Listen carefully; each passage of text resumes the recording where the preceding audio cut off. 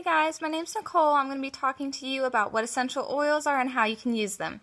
I know when I first got started, I was a little unsure of what these oils were and how you can use them, so that's why I want to give you a little rundown on that so you kind of know where to start.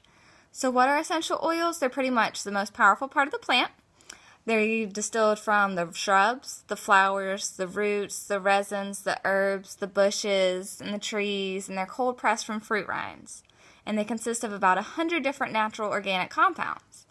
And in humans, they can provide support for just about every system in your body. It's crazy, right? So, you know, your circulatory, skeletal, muscular, endocrine, respiratory, immune systems, and they even help with your hormones. And they can provide support for brain health and a healthy weight.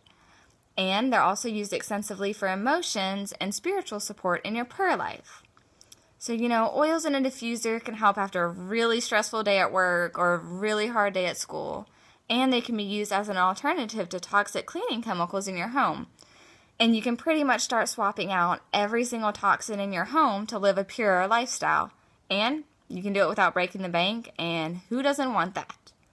So there's about 300 different essential oils on earth, but you really only only need about 10 to 20 to, you know, have a good kit and that's where the premium starter kit comes in that we're going to talk to you about today. It has just about all the oils you need to have, you know, a really good toolkit and get started with this. And the great news is you don't have to be an aromatherapist and you don't have to have any special training to use these oils. I'm going to show you three ways that you can use these oils and get started. So the main way is topically. You take a bottle, unscrew the top, and then just apply it to your skin like that. Real super easy and simple. Another way is aromatically, which we typically use with a diffuser. So we've got this diffuser right here. It's your home diffuser. It's what I got with my starter kit. You just take the top off, put the water in, add a couple drops of oil, and you're diffusing for a couple hours. And, you know, it smells awesome, and it's a really super easy, you know, way to get to smell your oils throughout the day. Another way that I like to use them is with diffuser jewelry. So right here, what I'm wearing is a little diffuser necklace. It's got a little felt pad inside of it. You just put a couple drops on the felt pad and you have a little portable diffuser. You know, it's really great. You can smell your oils all day. Super easy. And then there is the cupped hand method.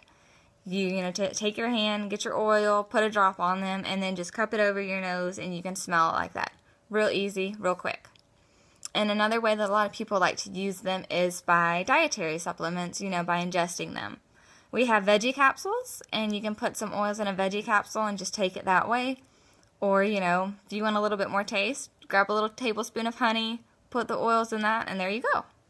And then, you know, you can even add them to beverages or you can cook with them to add a little bit of flavoring to your food. So now that we talked about, you know, topically, aromatically, and ingesting them, check this out. So tests have shown that oils reach the heart, the liver, and the thyroid in three seconds when inhaled. That's just three seconds, really quick. And then whenever you use them topically, they were found in the bloodstream in 26 seconds. That's fast. That just shows you how fast that these oils work and they can get into your system. It's really awesome. These oils are a great way to start, and I hope you are able to learn a little bit about these, you know, ways to use them. Stay tuned for some more videos. Thanks, guys.